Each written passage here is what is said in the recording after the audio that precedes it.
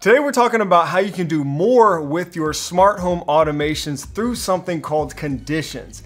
Now in the past, creating HomeKit automations, especially if you want to create more advanced conditional automations, was pretty limiting and somewhat cumbersome in the Apple Home app, but there was a recent update to iOS 18 that has really improved this we can convert our home automations to a shortcut and now create better conditional automations in the home app utilizing multiple conditions better than ever before. So let's talk about it. I'm gonna show you how to do it. We'll discuss this update and why you might wanna utilize this feature to level up your smart home automations. Let's go.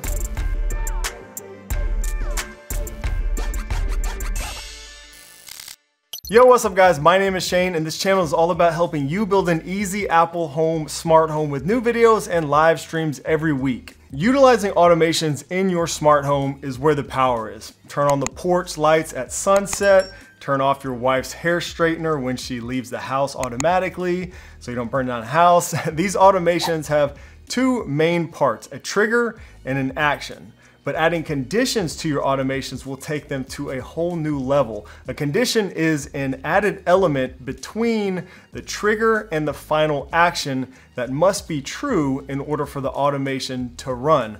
For example, at sunset, only when I am home, turn on the porch light. In that example, I'm using my location as the condition. The automation to turn on the porch light at sunset will only happen if I am home. Now when creating an automation in HomeKit, we have a few basic options that can be used as a condition. You can choose time of day or location when creating an automation.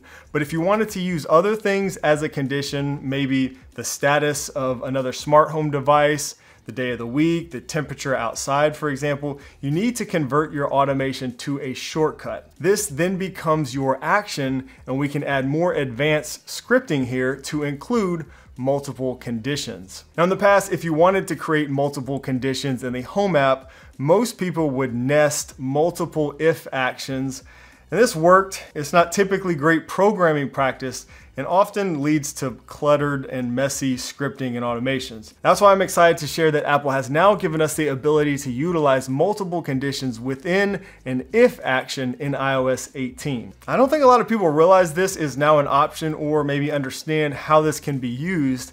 So let's cover some very basic examples of this today, and hopefully it'll give you some ideas for how you can level up your automations with conditions. Now basic home automation would be when a motion sensor detects motion, turn on a light. But let's say I don't want that light to come on if it's not dark in the room, or maybe if someone is watching TV. We'll add these conditions to the automation so that it only runs if the light in the room is below a certain threshold and if the TV is currently off. All right, so let's go ahead and build this automation from scratch and just show you how it works. So if I open up the Home app, go to your Automations tab, and we'll just create a new automation, add automation, and we're gonna start when uh, motion is detected, right? So when motion is detected, we're gonna turn on the light, but then we're gonna add some conditions to make it a little bit more uh, dynamic and useful for us. Don't wanna upset the wife or family members if they're watching TV or something like that. So We'll choose a sensor detect something and we'll find our sensor. This is gonna be your trigger. I'm looking for the living room. All right, and here I've got an Eve occupancy sensor and I'm gonna use this uh, to detect motion, okay? So that's actually one of these right here. This is the Eve motion. So when the sensor detects occupancy. And see, here's what I was talking about is some built-in conditions you can do in the home app easily. You can do time or when certain people are home or when nobody's home, stuff like that. Uh, but we wanna do more than that. So we'll just go ahead and tap next.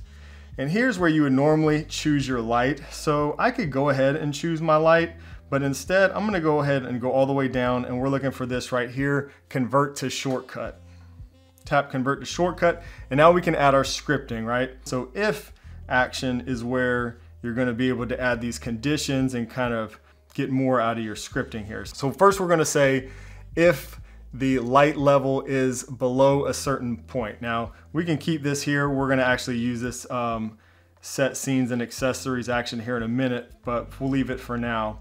So we're gonna go here and we're gonna tap the condition and we're gonna look for our home and the accessories in our home. So here you can use any of your other smart devices as a condition, right? So whether a TV is on or off and uh, different sensors and stuff like that. So we're gonna go back to the living room.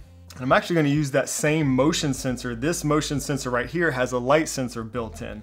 All right, so we're gonna be able to utilize that in our automation as a condition. So if the Eve light sensor current light level is, you can choose the number, I actually wanna change this right here is, and I want this to be less than, and here you can put your light level that you want it to be less than. So I'm gonna do less than 10 lux. That means the room is gonna be pretty dark. That's, uh, that's what we want here. Tap done. Now in the past, if you wanted to add multiple conditions here in the home app, uh, doing these shortcuts, you would have had to add another if action and kind of nest them within each other and stuff and it just got real messy. With iOS 18 we now can add multiple conditions within the same if action without having to nest uh, multiple ifs together, which is really great. You see this little plus icon that we have here now, uh, so that's pretty new to iOS 18. If we tap that, we can see we can now add an additional condition right here. So that's pretty awesome. So I'm gonna go back to uh, the accessories in my home and now we're gonna look for that TV, okay? So I actually have a HomeKit TV in the living room. So I'm just gonna use that as another condition. Uh, right here is this Sony TV.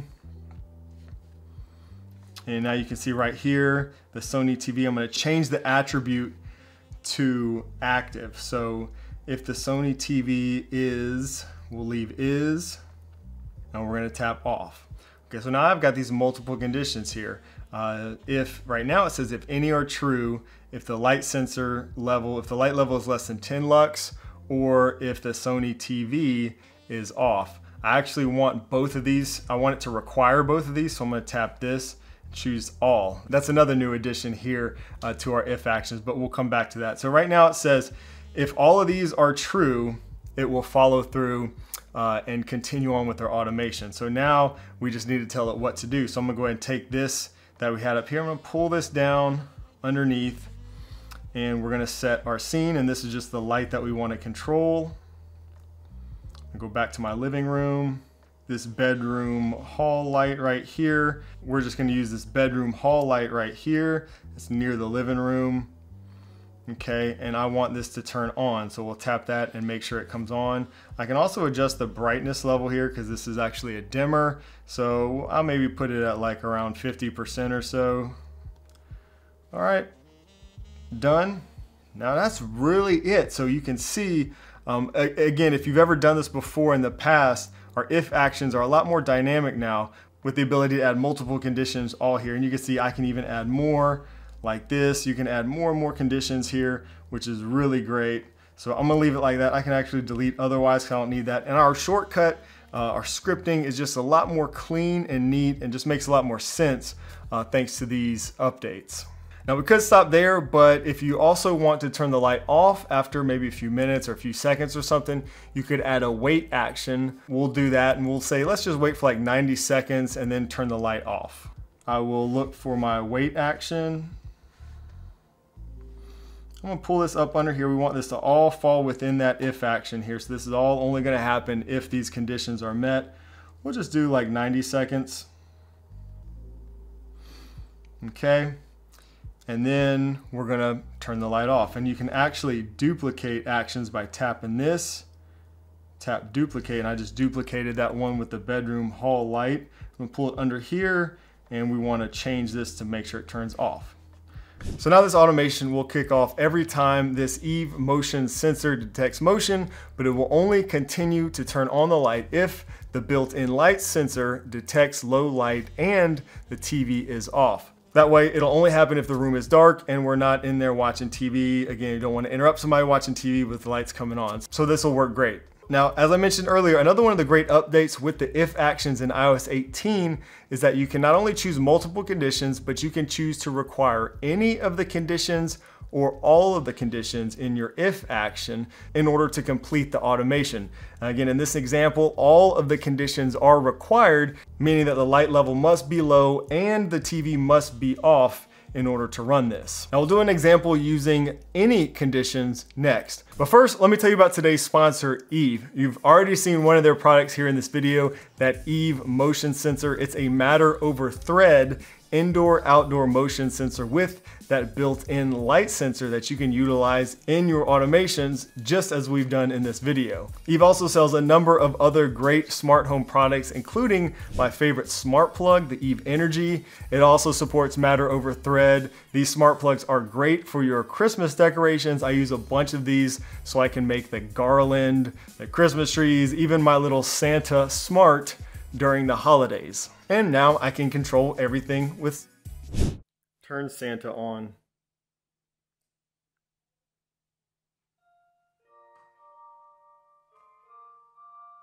The Eve Energy Outlet is another great product. Combine the Eve Energy Smart Plug or the Smart Outlet with the Eve Motion to create some awesome automations. Eve also sells an indoor camera and an outdoor camera. Maybe you could use one of these to catch the big guy coming down the chimney this year.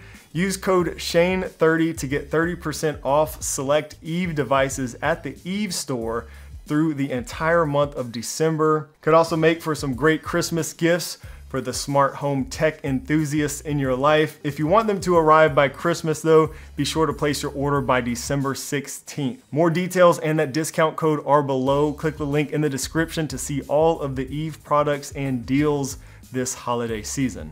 Now another really useful condition to add to your automations is a guest switch. Um, for like a guest mode. This can be done with a virtual switch if you have something that allows you to create one like Homebridge or Home Assistant, or you can just use an actual smart plug like the Eve Energy. Call the switch guest mode, that's what I do. And when you have guests over and maybe you know you don't want your usual automations to run, you can add that guest mode switch to your automations to ensure that the switch is off. That way when you have guests over, just turn on the guest mode to skip your automations for that night since that'll be one of the conditions to run your automations. All right, so for example, I have this automation here uh, that says every night at 10 p.m., turn the patio string lights off. Just a really simple automation. Let's say I have guests over out there, or maybe every now and then I'm actually out there pretty late you know, grilling something. So I actually wanna add some conditions that says if there's no motion back there or um, if that guest mode switch is off. That way, if I have guests over or I'm actually out there, it won't turn off my patio string lights that night. It'll skip the automation. All right, so to do that uh, from here, this is an automation that we've already have built. So normally you would um, you could go select accessories and scenes, and this is where uh, we currently have the patio string lights chosen. But instead, I'm gonna go down here and choose convert to shortcut. You can see it already added that since we had that selected. And I'm gonna once again add our if action. And right here we're gonna say if. We're gonna choose an accessory as a condition. And again these work outdoors. These are outdoor rated. So I've got one of these on the back porch. If the Eve occupancy sensor occupancy is detected. So uh, that's our condition right there. And then again, we can add additional conditions here. May I actually have another sensor out there because uh, I have a camera back there. So I can even add additional motion sensors back there. So let's go and do that. I've got one, this is in a different place on the back porch. So I can say if the TP-Link camera that's back there also, if motion is detected, so that way I've got, it's basically checking for two motion sensors, and I actually want to change this to no. Uh, and change this to motion is not detected, okay? Now we also want to add that guest mode switch, so add one more condition. Let's see. I have that guest mode switch is in my living room right here. Done. So if motion is not detected here, it's not detected here, and guest mode is off. So what I'm gonna do for this one is if any of these are true, um, I wanna stop this shortcut. So a way you can do that is you can look for stop. Yeah, stop this shortcut. Okay, I'm gonna pull this up here. So it's gonna check and it's gonna see if um, motion is here. I'm gonna put yes. if motion is detected here, or if guest mode is on. So if any of these are true, it's gonna stop the shortcut. Otherwise, we're gonna turn off those back porch string lights, okay? And this is where the any comes in handy versus all. So in this example, if any of these are true, it's gonna stop the shortcut and it's not gonna run any further and it's not gonna get to this part here.